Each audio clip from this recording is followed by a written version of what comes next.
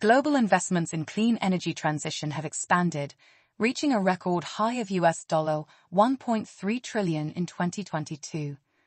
Despite such an uptake, these investments are insufficient to put the world on track toward meeting climate goals.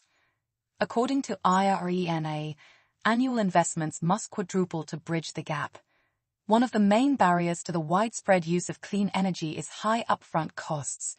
As public and concessional sources are scarce, renewable energy project finance calls for the active engagement of the private sector.